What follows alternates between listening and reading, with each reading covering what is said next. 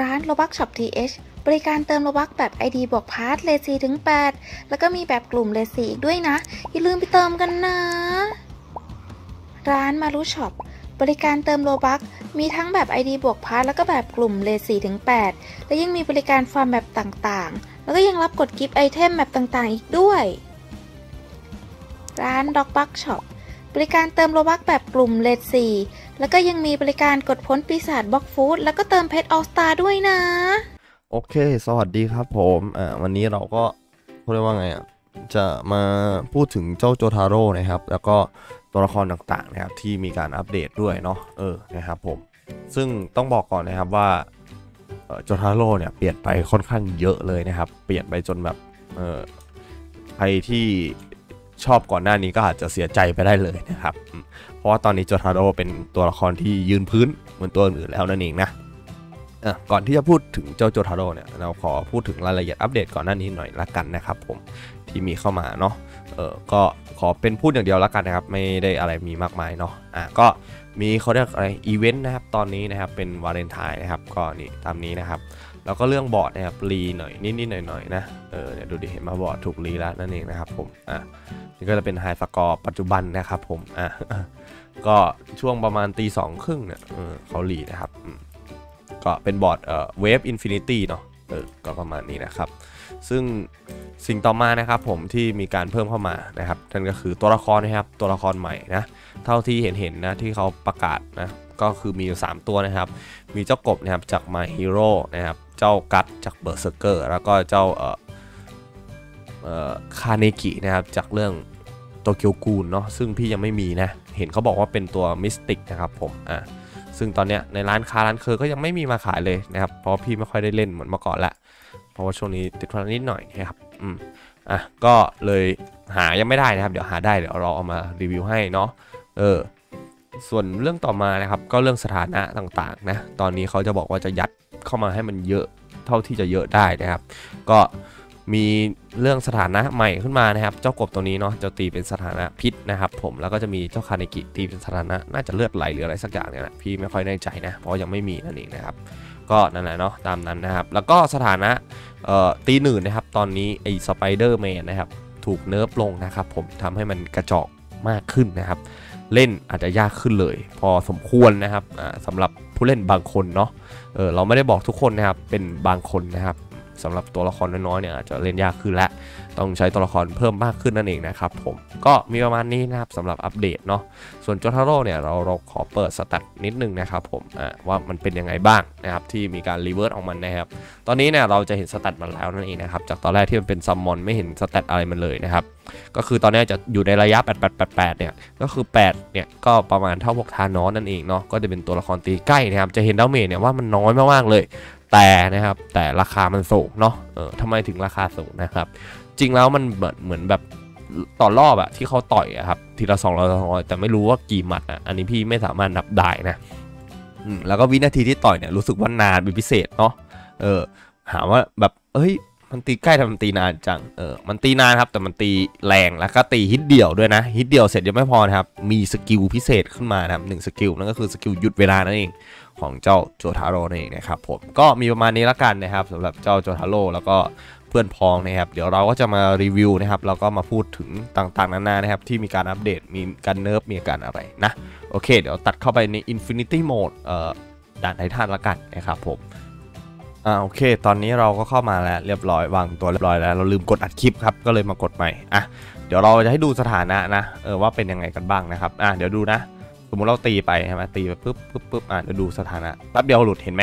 คือตีปุ๊บแป๊บเดียวก็ถ้าเราไม่ตีซ้ำเนี่ยหลุดเลยนะครับสำหรับเจ้าสถานะสโลตอนนี้อะเดี๋ยวให้ดูอีกรอบหนึ่งนะปุ๊บปุ๊บจุบจุบอะเดี๋ยวดูตัวแรกหลุดนะครับเห็นไหมคือมันหลุดหมดเร็วมากเลยครับ มันเป็นอะไรที่แบบเออมันต้องอัพแล้วล่ะสำหรับเจ้าสไปดี้นะครับตอนนี้ก็ไม่เหมือนเมื่อก่อนเนาะที่ไม่ต้องอัพก็โหดแล้วนั่นเองนะครับผมอะเดี๋ยวเราก็เออเขาเรียกไงวางตัวเจ้ากบหน่อยอะ ก็จะเห็นนะครับว่าเออมันเดินหนืดแล้วนะเออหนืดแล้วนะเออเดี๋ยวเราทำให้มันหนืดกว่านั้นได้อีกนะครับนั่นก็คือเอาตัวกบเนี่ยตัวใหม่นะครับเข้ามาตีเนี่ยเข้ามาเล่นนะครับมันจะหนืดคูณ2เข้าไปครับผมอ่าเพราะมันจะมีสถานะพิษนะครับพิษเนี่ยมันก็จะทำให้ slow เช่นเดียวกันนะครับแล้วก็หายเร็วกว่าสไปเดอร์แมนนะครับเห็นไหมใช่ปะตี slow ไม่ติดครับผมไอ้สไปเดอร์แมนมันตีไม่ค่อยติดเว้ยอันนี้ไม่รู้ว่าเกิดจากเพราะอะไรนะครับอืมอันนี้อันนี้จริงๆนะอันนี้เนี่ยเห็นปะตีแบบนานทีจะติดทีนึงอะ อ่าวางชาแซมนิดนึงนะครับอืมคือแบบมันไม่ค่อยติดอะไม่รู้ว่ามันเกิดจากเพราะอะไรนะครับมันตีแบบเหมือนไม่ค่อยโดนนะครับอืมสำหรับเวลาเจอยูนิตวิ่งไวๆนะครับ มันเลยทำให้ดูมันกากมากขึ้นกว่าเดิมอีกครับ พี่คิดว่าสถานะพิษยังดีกว่าสิสถานะพิษเนี่ยมันก็ยังติดเรื่องปัญหาตรงที่มันแบบมันหมดไวไปหน่อยนะครับสำหรับเกี่ยวกับเรื่องเออเขาเรียกไงยิงหนืดอะไรเงี้ยนะครับ มันยังหมดไวไปหน่อยนะครับ แล้วก็เรื่องเออเขาเรียกว่าไง การตีของเขาเนี่ยมันไม่ได้ต่อเนื่องนะครับ มันไม่เหมือนกับเจ้าตัวสไปเดอร์แมนตัวสีแดงเนี่ยเนาะเออเดี๋ยวมาดูดูชื่อเขานะมันชื่ออะไร คือมันมันตีมันตีเป็นหมู่ก็จริงครับ แต่มันไม่ได้ตีรัวขนาดนั้นเนาะแต่ถ้าวางเป็นจุดๆเนี่ยสำหรับตัวเจ้าพิษตัวกบตัวนี้ก็ถือว่าดีนะเออวางแบบเป็นจุดๆนะครับ มันก็แบบลากได้ยาวมากๆเลยนะสไปเดอร์แมนก็ต้องวางมากขึ้นกว่าเดิมนะครับ แล้วก็ตั้ง priority ดีๆนะครับผมอ่าเออ ก็อยู่ที่เราครับว่าเราจะตั้งแบบไหนเนาะเอออะโอเค จากที่ด่านไททันเราไม่สามารถรีวิวเจ้าโจทาโร่ได้เลยนะครับ เนื่องจากแม่งแบบเจอไททันเกาะวิ่งแบบโอ้โหปัตตบันวิ่งแบบลืมไปเลยว่ามีตัวยิงหนืดอะไรประมาณนี้ครับ มันก็เลยแบบเออไม่ไหวครับ ก็เลยเอามาด่านนี้แทนละกันนี่ จะเห็นนะครับว่าเจ้าโจทาโร่เนี่ยดาเมจ200 นะ อ่าจะดูมันต่อย เห็นไหม มันมากกว่า 200 นะ เห็นไหมจาก 20,000นะครับ หายไป 2,000 เลยนะ เออ แต่ถ้าเราลองหยุดเวลาดูล่ะ มันจะต่อยได้แรงขนาดไหนนะครับ นี่คือขั้นแรกราคา 4,000 นะ เดี๋ยวมาดูกันนะครับต่อตัวนะ แล้วเดี๋ยวเราก็จะมาพูดด้วยว่าเรื่องหยุดเวลาเนี่ยเป็นยังไงบ้างนะครับผม อะ นี่หยุดเวลานะครับ นี่ โดนต่อย นี่จึกจึกจึกจึกจึกโอ้โห ต่อยหนึ่งครั้งของเขาเนี่ย ดูดิ เห็นไหม เออซึ่งวงเนี่ยที่หยุดเวลาเนี่ยไม่ใช่วงสีฟ้านะครับ มันจะเป็นวงของที่หยุดเวลาของเขาปกติเลยนะครับผมมเดี๋ยวเราก็จะมาทดสอบกันว่าวางขายเนี่ยจะสามารถเขาเรียกว่างแล้วก็ขายแล้วก็หยุดเวลาอย่างเงี้ยเออไม่ใช่สิวางแล้วก็หยุดเวลาแล้วก็ขายอย่างเงี้ยมันจะได้ผลไหมนะครับ เราลองเลยนะนี่หยุดเวลาครับเห็นนะเออแล้วจนเราต่อยนะครับปุ๊บอะขายครับอะรอหยุดเวลา จะได้ไหมจึ๊บอ่าจึ๊บอ่าไม่ติดครับผมจึ๊บอ่าไม่ติดนะเห็นนะ คือเหมือนหยุดได้ทีเดียวอะ่ะ แล้วก็เดินแบบโอ้โหโคตรเสียตังค์อะเออคือหยุดครั้งเดียวครับนี่วงมันจะประมาณนี่เท่านี้เลยนะครับ ตามขอบสีม่วงเขาเลยนะครับผมอ่าเรามาลองดูอีกทีหนึ่งตรงนี้เลย ทีเดียวไกลๆยาวๆนะครับว่ามันจะหยุดเวลาได้ไหม ใส่ตัวละครตัวนี้ซ้ำอีกทีหนึ่งจะได้ไหมนั่นเองนะครับผมจุ๊บอ่าก็น่าจะเคลียร์แล้วมั่งก็หลายวิอยู่นะครับกว่าจะมาถึงตรงนี้ ก็ก็ก็ไม่ได้นะ เออ ก็คือหยุดหยุดหยุดหยุดซ้ำไม่ได้นะ หรือว่ามันยังใกล้ไปอันนี้พี่ก็ไม่แน่ใจนะครับ ถ้าใครรู้ก็คอมเมนต์บอกกันด้วยละกันเนาะโอเค ต่อมานะครับเรามาพูดถึงเรื่อง stat เขาหน่อยละกันนะครับ อัพขั้นแรกครับผมนี่ 7,000 นะ damage ขึ้นมาเป็น 300 นะครับ มันก็ดูแบบเฮ้ยเพิ่มแค่นี้เหรอเออแต่ต่อยแต่ทีอะเออมันหลายทีมากๆเลยนะครับอ่าราคาพี่หนึ่งหมื่นนะครับอ่าอุ้ยโอ้โหเบิ้ลเมาเบิ้ลมันจะเป็น 520 แล้วก็อัพอีก 1 รอบเนี่ยจะเป็น 1,000 นะครับ 1,020 นะอ่าแล้วก็อัพขั้นสุดท้ายครับ 30,000 นะปุ๊บอ่าเวลาการต่อยเขาก็จะลดลงด้วยนะครับผมซึ่งก็ไปดูเอาตอนช่วงแรกๆนะครับพี่เล็งไว้ให้ละเดี๋ยวดูต่อยครับปึ๊บนะเลือด20,000ปึ๊บอือหือจึ๊ เดี๋ยวเดี๋ยวรอครูดาวก่อนอีกทีหนึ่งนะครับผม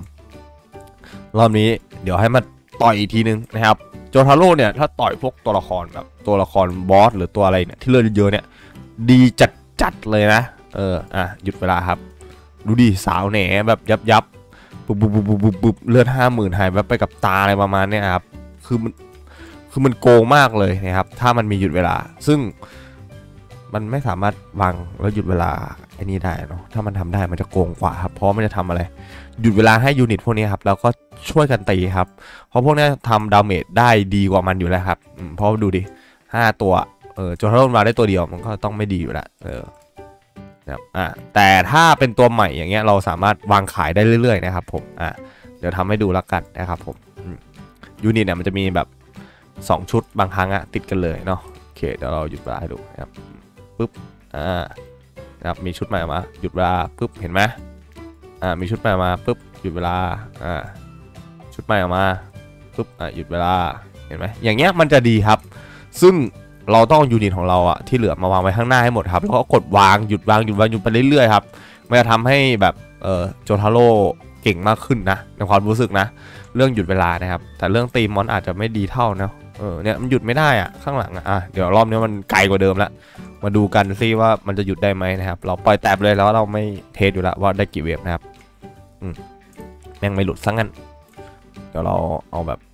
หยุดตัวหลังสุดไม่ได้ไม่ได้ตัวปัจจุบันเนี่ยเดี๋ยวแตกอีกจุ๊บอ่าไปเออหยุดไปเลยเนี่ยดูจุ๊บเออโกงอะ่ะบอกเลย หยุดได้แบบรัวๆคือถ้าตัวใหม่มานี่คือเดินหายไปแล้วแบบประมาณเวฟเกือบเวฟนึงอะ่ะเออเวฟต่อไปเกือบออกอะ่ะ ประมาณเนี้ยนะเห็นปะมอนเพิ่งเดินมาหน่อยหนึ่งเวฟต่อมาออกแล้วอะเออก็ดูความโหดของมันล้วกันนะครับเออมันก็แบบเหมือนรัดเวฟได้นะครับ แล้วมีธานอสช่วยดีดนิ้วอย่างเงี้ยโอ้โหประสิทธิภาพมันมหาศาลเลยครับเอ้ยหลุดละหลุดละเอ้ยไม่หลุดวะเฮ้ยยังไม่หลุดอีกอะเฮ้ยเอากินเดี๋ยวรอบหน้าขายทิ้ง ไม่ยอมหลุดสักทีนะครับอืมพี่คิดว่ารอบนี้หลุดชัวร์ครับ เพราะว่า พี่จะขายตัวละครทิ้งทั้งหมดครับนั่นแหละ หลุดแน่นอนฮะจำไว้นะเออว่ามันเป็นตัวข้างหลังข้างหลังนะเออมาดูกันว่ามันจะหยุดได้ไหมตรงกลางๆพูดผิดหน้าคายหนูหน้าตูดนะครับหาดูอะ เคอ่าเดี๋ยวมาดูกันนะครับ ที่เราหยุดไว้สองสามตัว มาดูกันว่ามันจะติดไหมจุ๊บอ่าโอ้โห เดินชับปลอเลย เดินปลอเลยนะเราอะฮะโอ้โหเนี่ยมันไม่หยุดนะเห็นไหมอาคายนูไอชุดแรกอะที่เราหยุดไว้อะคือหยุดเวลาโดนได้แค่ครั้งเดียวครับผมแล้วก็นั่นแหละจบเลยนะครับ ก็นั่นแหละแนะนำนะครับว่าวางขายวางขายข้างหน้า แล้วก็พอแบบเอ้ยเวฟนี้เราไม่อยากข้ามเราก็ไม่ต้องกดข้ามเวฟแล้วก็ไม่ไม่ต้อง อะไรให้มันมากมายเนาะอืมก็สำหรับเท่านี้ละกันนะครับ คลิปนี้ไปแล้วครับบายครับผม